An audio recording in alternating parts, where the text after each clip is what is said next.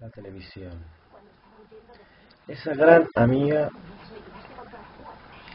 y a la vez enemiga. No podemos vivir con ella ni sin ella.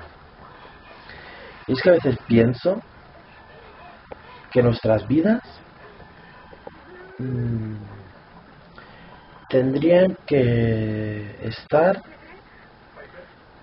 eh, no sé cómo decirlo, dirigidas o estudiadas para eh, que concordasen con la programación.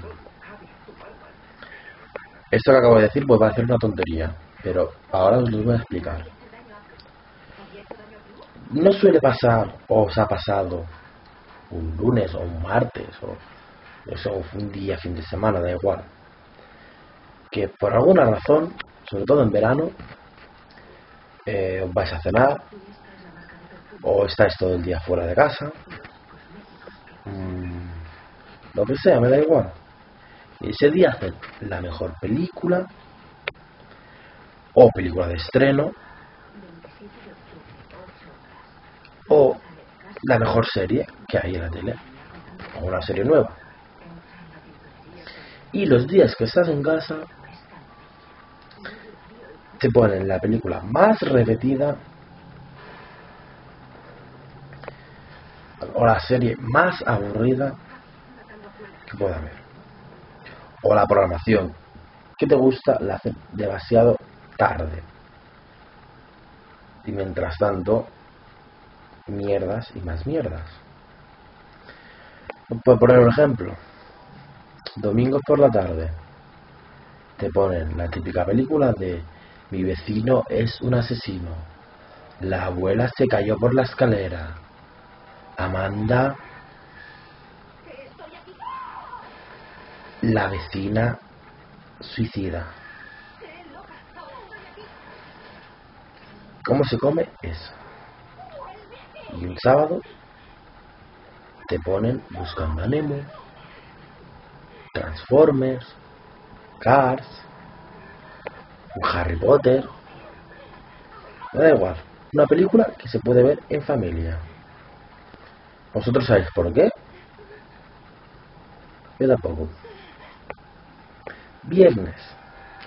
Un viernes que decides o simplemente no te apetece eh, o no haces planes y te quedas en casa. ¿Qué pasa ese día? Pues que solo puedes ver Sálvame y enterarte de la vida de Rosa Benito, de Belén Esteban y compañía. Sí, vale, reconozco, conozco a los personajes, pero yo un viernes no me apetece ver Sálvame. Luego sí, claro, te queda Discovery Max y ver Ghost Lab, que bueno, sí, programa de fantasmas, pero a veces son capítulos entretenidos y otras veces no. Después, ¿qué te queda? Pues Factoría de Ficción, Neox, incluso Clan, por ejemplo. Pero bueno, no sé. ¿Para qué ver capítulos repetidos de la que, la que se avecina, que no hay quien viva o embrujadas? Lo digo por los canales que he antes. Pero bueno, la programación, la programación. Y los anuncios. A los anuncios. Mi momento más bonito de una serie o de una película, te ponen un anuncio de 6 minutos.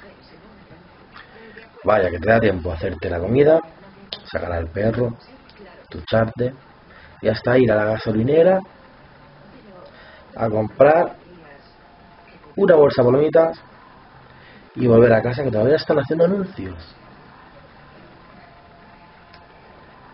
Pero bueno,